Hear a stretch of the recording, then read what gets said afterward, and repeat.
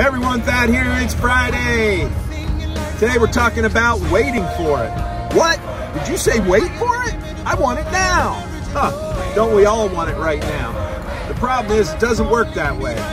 There's many people out there working their butts off, trying to be successful in work, in business, whatever. There's so many people that are working so hard, they're fighting cancer and other diseases and things.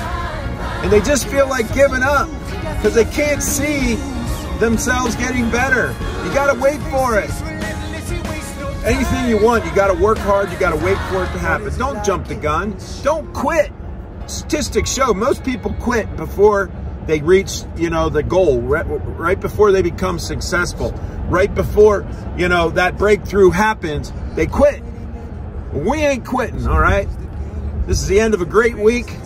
Had a lot of challenges, but we made it. So come on, push hard, keep pushing, and just wait for it.